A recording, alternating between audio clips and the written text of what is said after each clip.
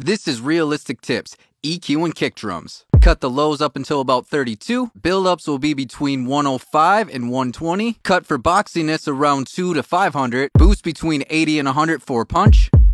Attack around 900 to 1500. And between 7 and 8k for clarity. Of course, these numbers are not absolutes. They may be more or less than what we suggested, or you may not need them at all. Every song and sample will be different settings. Follow me for more tips, tricks, and useful content.